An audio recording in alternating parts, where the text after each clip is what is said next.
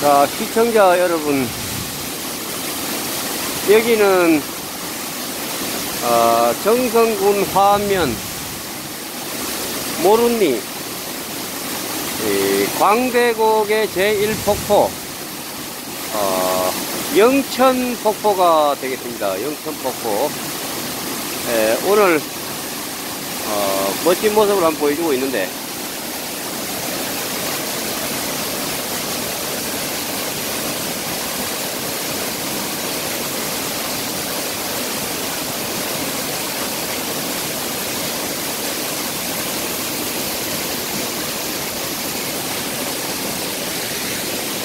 자, 천둥 치듯 어, 쏟아지는 물소리가 아주 장관인데요. 아, 오늘 아주 좋습니다. 좋아요.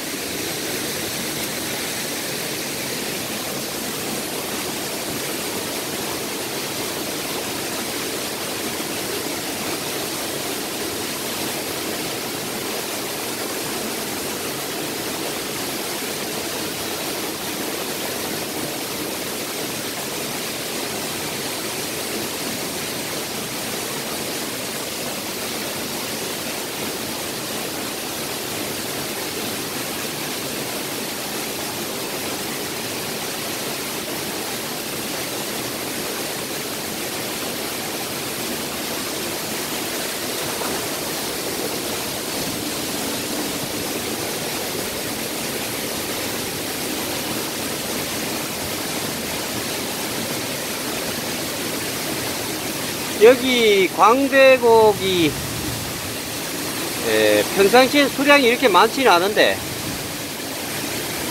에, 요 근래에 여러분 아시겠지만은 비가 좀 어, 와가지고 아주 멋진 모습을 여러분 보여주고 있습니다. 아, 한백산 도깨비가 아, 오랜만에 또 이렇게 한번 들려봤는데 에, 장쾌한 에, 폭포의 모습이 시원한 감을